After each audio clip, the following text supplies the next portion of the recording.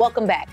I'm Amazing Crystal, and we're talking about the Beatitudes. Our scripture comes from Matthew 5, verses 2 through 12. And he opened his mouth and taught them, saying, Blessed are the poor in spirit, for theirs is the kingdom of heaven. Blessed are those who mourn, for they shall be comforted. Blessed are the meek, for they shall inherit the earth.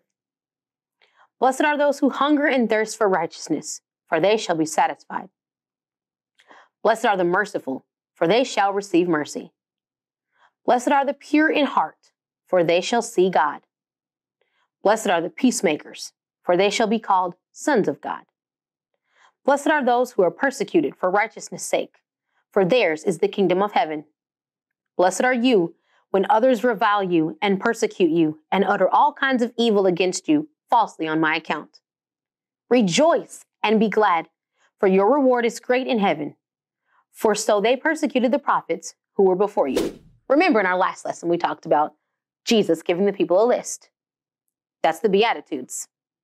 What happens if I shake this jar? Jesus told us that God's people are to be in the world, but not of the world. In this sermon, Jesus wanted to tell the people how God's people are to live. A person cannot belong to God and live however he wants to. Just like the oil and water are both in the jar, Christians are in the world, but the water and the oil separate. The church and Christians cannot behave like the world. Each of the Beatitudes begins with Blessed are those who. That word blessed means happy. Jesus has taught us how to be happy. But like our jar, it isn't what the world would consider happiness. Let's keep building our hamburger of happiness.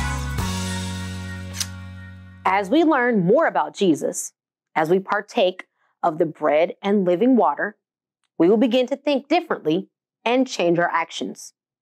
God will cleanse our hearts. This is what the churchy word sanctification means. It's allowing God to clean your heart your motives, your thoughts, your actions, your words, everything. It's a slow process, though. But if we allow God to show us the sins we need to get rid of, then he will we will see him. One day we will see him face to face. But even now on earth, God reveals himself to people in many ways. Therefore, blessed are the pure in heart, for they shall see God. Now, how do we stay connected to God? We live like Jesus and remain pure in heart.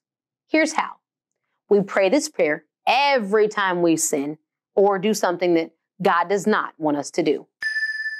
Pray with me. Jesus, I know that you made me and want me to obey you with all my heart.